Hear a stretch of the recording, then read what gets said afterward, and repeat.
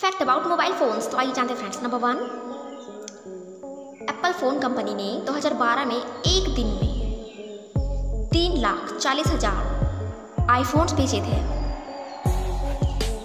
Number two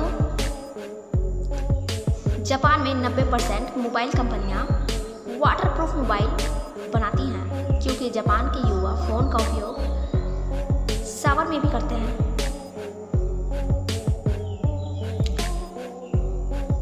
Number three Indian Council of Social Science के मुताबिक भारत में लोग एक दिन में लगभग छः घंटे फ़ोन का उपयोग करते हैं।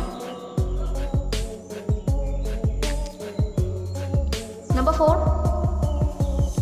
दुनिया के सबसे ज़्यादा फ़ोन चीन में बनाए जाते हैं। नंबर फाइव मोबाइल से निकलने वाला रेडिएशन सिर दर्द का भी कारण बन सकता है। Thank you for watching friends.